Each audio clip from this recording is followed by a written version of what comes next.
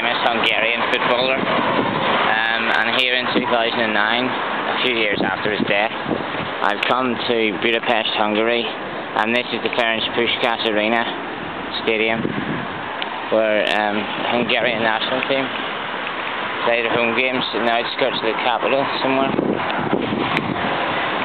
That's the big stadium there. Stadion, Ferenc Puskás.